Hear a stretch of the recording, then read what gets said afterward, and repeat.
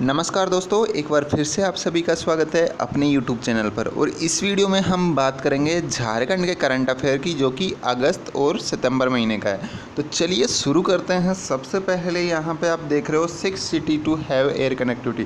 तो दोस्तों, आपको बता दूँ कि हाल ही में झारखंड ने यहाँ पे छः सिटीज़ को हवाई सेवा से जोड़ने का लक्ष्य बनाया है और इस योजना पर कार्य चल रहा है। तो देख लेते कौन कौन से सिटी है। इसमें रांची के अलावा जमशेदपुर है दोस्तों, हजारीबाग है दुमका, मेदीनगर देवनगर देवघर और बोकारो को हवाई अड्डा से जोड़ने का लक्ष्य बनाया गया है। साथ ही अगर बात करें तो देवघर और धाल भूमगढ़ से यहाँ पे डोमेस्टिक एयरपोर्ट बनाने का लक्ष्य रखा गया है दोस्तों।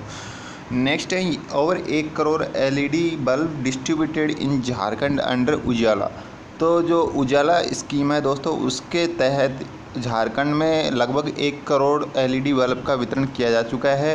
एक करोड़ का आंकड़ा पार कर चुका है और 19 अगस्त तक यहाँ पे राज्य सरकार ने कुल एक पॉइंट ज़ीरो तीन करोड़ एलईडी बल्ब वितरित कर दिए हैं।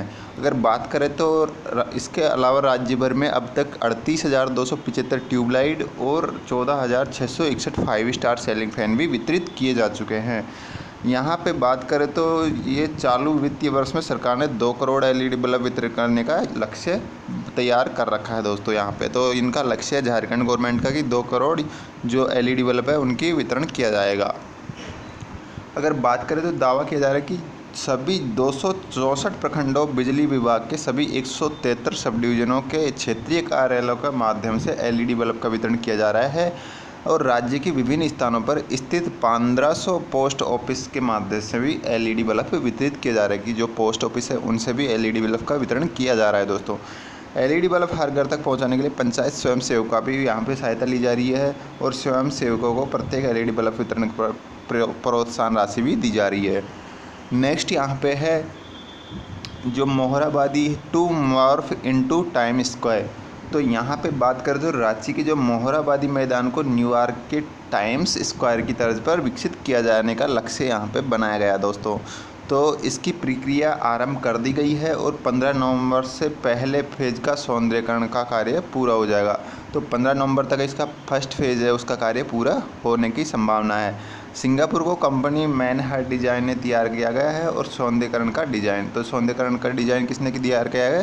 सिंगापुर कंपनी जो मैन हार्ट है उन्होंने ये तैयार किया है दोस्तों। नेक्स्ट यहाँ पे है कि पत, जो Patanjali to open ayurvedic college in Namkum Ranchi तो पतंजलि जो है बाबा रामदेव नामकुम में पतंजलि का योगपीठ आचार्य कुलम आयुर्वेदिक अस्पताल यहाँ पे खोले जाने का लक्ष्य रखा गया है। इसके लिए टाटा रोड पर छोटा नागपुर लॉ कॉलेज के बगल में ज़मीन चिन्हित की गई है। तो ये यहाँ पे खुलेगा दोस्तों छोटा नागपुर के जो लॉ कॉलेज के बगल में ज़मीन है वहाँ पे ये खुलने का लक्ष्य रखा गया है। बा, बाबा ने यहाँ पंद्रह एकड़ ज़मीन पहले ही ले रखी है। आचार्य कुलम में दसवीं तक की पढ़ाई भी होगी दोस्तों। साथ ही बाबा रामदेव राज्य के गेताल सूद स्थित मेगा फ़ूड पार्क में चार प्लांट यहाँ पे लगाएँगे। इनमें टमाटर, आंवला, बेल और टमाटर के लिए एक एक प्रोसेसिंग प्लांट होगा। नेक्स्ट यहाँ पे है best pavilion award goes to Jharkhand तो जो नई दिल्ली के प्रकृति मैदान में आयोजित हुआ था Indian international M S M E and startup expo 2017 इसमें झारखंड को बेस्ट पवेलियन अवार्ड मिला है दोस्तों और तीन दिवसीय इस एक्सपो में झारखंड द्वारा लगाए गए पवेलियन को यूपी के साथ संयुक्त रूप से यह अवार्ड मिला है। तो ये यूपी के साथ मिला है ये अवार्ड। नेक्स्ट है यहाँ पे पूर्वी सिंहभूम के चाकुलिया की लेडी टार्जन जमुना टुड्डा के नाम एक और सम्मान जुड़ गया है। 29 अगस्त 2017 को नई दिल्ली स्थित नीति आयोग के दफ्तर में जमुना को वुमेन ट्रांसफॉर्मिंग इंडिया अवार्ड 2017 से सम्मानित किया गया है और यह सम्मान पूरे भारत की छः महिलाओं को मिले हैं दोस्तों। तो ये जो लेडी टार्जन जमुना टुडू है, इसको कौन सा अवार्ड मिला है? वुमेन ट्रांसफॉर्मिंग इंडिया अवार्ड 2017 से नवाजा गया है उनतीस अगस्त को। अगर बात करें तो क्षेत्र में जमुना टुडू की पहचान जंगल बचाने से है। इन्होंने जंगल को बचाने के क्षेत्र में काफ़ी सहयोग दिया है दोस्तों और उन्होंने महिला होते हुए भी विपरीत परिस्थितियों में झूमते हुए अपने गाँव से जंगल बचाने की शुरुआत की है। राज्य के मुख्यमंत्री से लेकर राष्ट्रपति तक जमुना को सम्मानित कर चुके हैं और इस बार नीति आयोग ने इनको सम्मानित किया है दोस्तों। नेक्स्ट यहाँ पे बात करें तो जमुना ने बताया कि इस सम्मान के लिए देश की 300 महिलाओं ने आवेदन किया था, जिनमें जमुना समेत छः महिलाओं का चयन हुआ है। तो ये काफ़ी बड़ी बात है झारखंड के लिए कि छः महिलाओं का चयन हुआ है, उसमें एक झारखंड का भी नाम इसमें है दोस्तों। जमुना के अलावा सफ़ीना हुसैन, अरुणिमा सिन्हा सुभाषिनी मिस्त्री और कमल कुम्मा और लक्ष्मी अग्रवाल को भी ये सम्मान मिला है दोस्तों।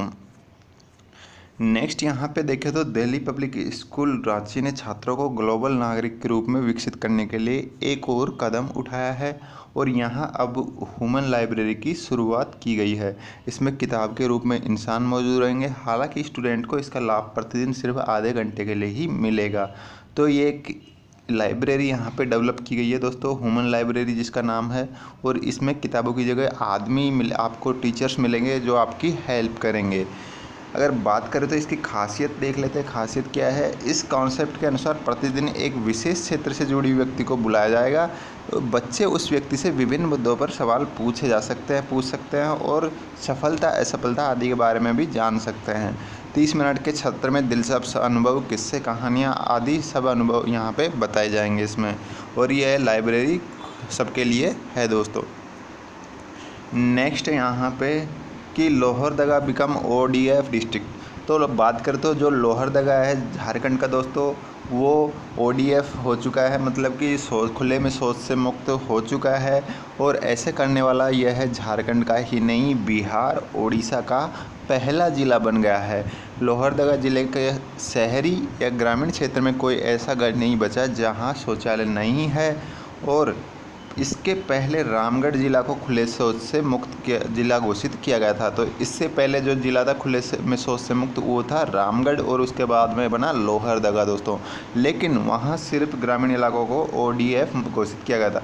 लेकिन जो झार, रामगढ़ है दोस्तों, उसमें ओनली ग्रामीण इलाकों को ही मुक्त किया गया था ओडीएफ मुक्त, ना कि शहरी इलाकों को। नेक्स्ट यहाँ पे, लेकिन जो लोहरदगा है, उसको कम्प्लीटली सोच मुक्त घोषित किया गया है। काफ़ी इंपॉर्टेंट क्वेश्चन बन सकते हैं यहाँ से दोस्तों। Next Ranchi to host national youth festival तो जो रांची है दोस्तों, यहाँ पे राजधानी में पहली बार youth fest national youth festival होने जा रहा है सत्रह अठारह का, और इसके आयोजन की ज़िम्मेदारी रांची विश्वविद्यालय को दी गई है। जो होस्ट करेगा ये festival national youth youth festival, वो कौन करेगा दोस्तों? रांची करेगा इस बार। अगर बात करें तो ये फेस्टिवल चलेगा 16 से और 20 फरवरी 2018 तक चलेगा ये और इसके पहले Ranchi university, eastern zone inter university youth festival की सफल मेज़बानी कर चुका है। तो इससे पहले जो होस्ट किया है रांची यूनिवर्सिटी ने, वो है दोस्तों eastern zone inter university youth festival भी रांची ने होस्ट कर चुके हैं पहले। विश्वविद्यालय की सफलता को देखते हुए एआईयू ने पहली बार राज्य की किसी यूनिवर्सिटी को यह अवसर दिया है। तो नेक्स्ट यहाँ पे बात करते हैं, वो है Kunti Kunti collectorate get I S O नौ हज़ार एक, दो हज़ार पंद्रह सर्टिफिकेशन तो दोस्तों, जो खुंटी समारणालय को आई एस ओ नौ हज़ार एक और दो हज़ार पंद्रह तक का प्रमाण पत्र मिला है तो यहाँ पे खुंटी ज़िला को बेहतर इनोवेशन के लिए ये अवार्ड मिला है। गौरतलब है कि खुंटी डीसी के आदेश पर पूरे समाहरणालय को पेपरलेस प्रक्रिया की चल रही है। अगर ज़्यादातर कार्य अब ऑनलाइन ही होते हैं, आम लोग प्रतिदिन 11 बजे आकर यहाँ अधिकारियों से मिल सकते हैं, अपनी समस्याएँ बता सकते हैं।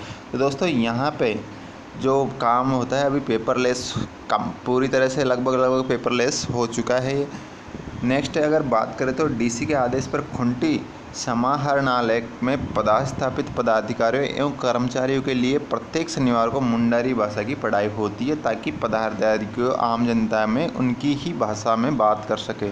तो इनको जो वहाँ पे ऑफिसर्स वगैरह काम करते हैं, उनको लोकल लैंग्वेज भी सिखाई जा रही है, जिससे कि उनको और वार्तालाप में इजीली कॉन्फ्रेंस जो है, वो सुविधा इजी हो जाए, उनकी समस्या को समझने सके और डीसी स्वयं दूरस्थ इलाकों में जाकर लोगों से मिलते हैं। तो ये एक अच्छी पहल है दोस्तों। नेक्स्ट अगर बात करें तो Premlata and Sumari got sport award. तो यहाँ पे खेल दिवस पर प्रतिभाओं को राष्ट्रपति रामनाथ कोविंद ने राष्ट्रपति भवन में एक समारोह में सम्मानित किया। झारखंड की सुमराई टेटे को भारतीय महिला हॉकी टीम में उनके योगदान के लिए ध्यानचंद पुरस्कार से नवाजा गया है दोस्तों। ये वेरी वेरी इंपॉर्टेंट क्वेश्चन बन सकता है यहाँ से। तो जो यहाँ पे सुमराई टेटे हैं, उनको कौन से पुरस्कार से नवाजा गया है? ध्यानचंद पुरस्कार से। और ये भारतीय महिला हॉकी टीम के ही एक सदस्य हैं। नेक्स्ट है, पर्वतारोही प्रेमलता अग्रवाल को तेजनिंग नॉर्गे राष्ट्रीय साहस पुरस्कार मिला है। तो जो यहाँ पे प्रेमलता है, वो क्या है? एक पर्वतारोही है। इनको ये तेजनिंग नॉर्गे राष्ट्रीय साहस पुरस्कार मिला है दोस्तों। अगर नेक्स्ट बात करते हैं तो वो है डोमचंज बिकम नगर पंचायत। तो यहाँ पे जो डोमचंज है, वो नगर पंचायत घोषित किया जा चुका है। अगर बात करें तो कैबिनेट ने कोडरमा ज़िले के सात राजस्व ग्राम को मिलकर डोमचांच नगर पंचायत घोषित करने का फैसला किया है। इसमें डोमचांची उत्तरी, दक्षिणी और पूर्वी के कुछ अंशों के अलावा महेशपुर, महथाडीप और दुरोडी है है के कुछ अंश को शामिल का किया गया है दोस्तों। तो ये दोस्तों, उसके बाद में अगर बात करें तो ये नेक्स्ट अगर हम देखें तो ये किस बिकम फ़र्स्ट ट्राइबल यूनिवर्सिटी, उसके बाद में कुछ और हमारे पास जो क्वेश्चंस हैं, जो जीके के बन रहे हैं दोस्तों, वो हम सेकंड पार्ट में डिस्कस करेंगे क्योंकि ये काफ़ी ज़्यादा लेंदी वीडियो बन जाएगा अगर आप, क्योंकि आगे भी काफ़ी क्वेश्चंस काफ़ी जो करंट अफेयर है, वो है। तो मैं सेकंड पार्ट में इसको आपको शेयर करूँगा दोस्तों।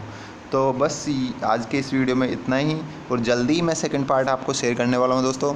तो बस बने रहिए मेरे साथ, और बेल आइकन को प्रेस कर ले नोटिफिके और जो सब्सक्राइब बटन है उसको प्रेस कर ले तो जो ही मैं अपलोड करूँगा सेकंड पार्ट आपको नोटिफिकेशन मिल जाएगी दोस्तों।